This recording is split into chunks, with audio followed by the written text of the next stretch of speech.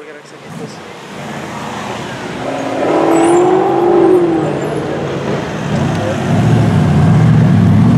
Por me. Ah, 2,75 mais por